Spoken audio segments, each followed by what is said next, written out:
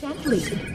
Sa challenge nito, ang dapat lang gawin ng player ay hipan ang bulak na nakasabit sa tali at mas-shoot ito sa cup na nasa kanyang ulo. Ang huling makakagawa ng challenge ang ma-eliminate.